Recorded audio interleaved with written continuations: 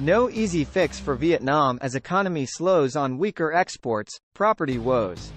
Signs of weakness are widespread across Vietnam's economy, including sharp drops in exports due to global demand, weakening imports reflecting a contraction in factory output, and a tumble in new bank lending.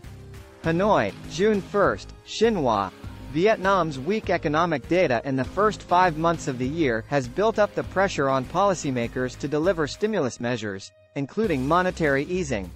Signs of weakness are widespread across the economy as exports dropped sharply on sagging global demand, weakening imports indicated a contraction in factory output and new bank lending tumbled.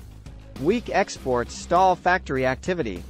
For Vietnam, the sharp decline in demand for its goods abroad has removed a key prop for growth, at a time when the export-driven economy has yet to fully recover from the COVID-19 pandemic and one of the Southeast Asian country's top industries, the real estate sector, plunged into turmoil.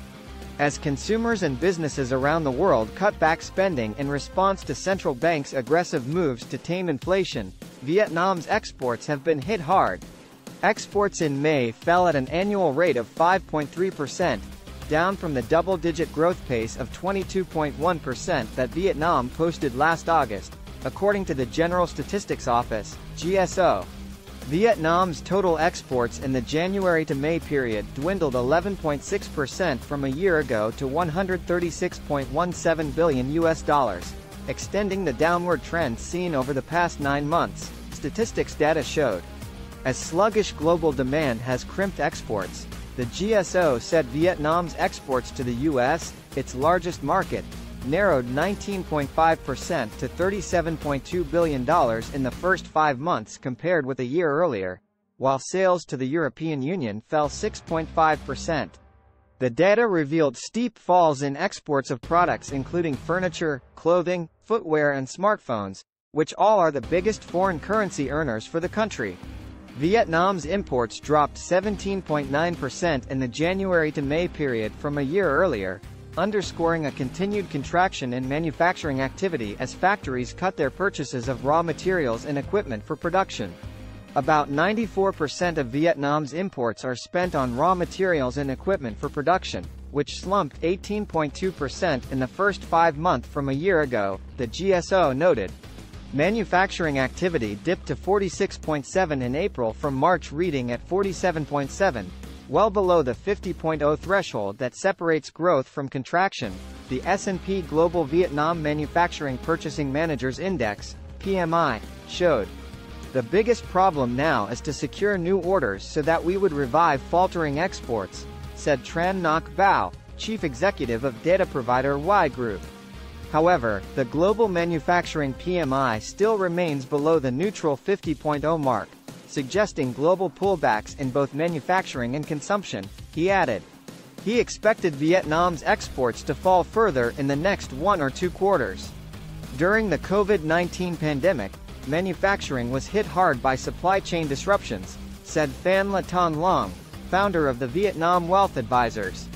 But now, the current loss of momentum in manufacturing is due to the effect of the drop-off in demand. As the global economy slides closer to recession, Vietnam is going to be in the crosshairs, said Nguyen Minh Tuan, co-founder and chief executive at AFA Capital Vietnam. It's hard to see the manufacturing sector not experience some sort of a downturn. Vietnam bucks global trend of monetary tightening. Vietnam, among one of the few countries, has tried to buck the global trend so far this year, deploying monetary and fiscal easing in a bid to support growth. The State Bank of Vietnam has cut its policy interest rates three times so far this year to support businesses get through the tough time and boost domestic demand further.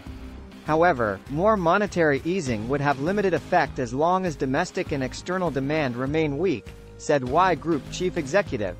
Although most central banks were done or almost done with raising interest rates, there is a lag between changes to monetary policy and its effect on economic activity. It would take Vietnam between three and six months for its easing policy to have effect on manufacturing, he said. Much weaker than expected credit growth underlines the difficulties policymakers are facing stimulating growth. According to the central bank, as of April 20, the credit growth in the banking system was up 2.57% from the end of last year, about a third of the growth of 6.42% in the same period a year ago. The central bank has previously said it was targeting 14 to 15% credit growth for this year. Banks have lowered their expectations for loan demand, saying that the total lending is expected to grow 4% in the second quarter and expand by 13.1% for the year, according to a survey by the central bank.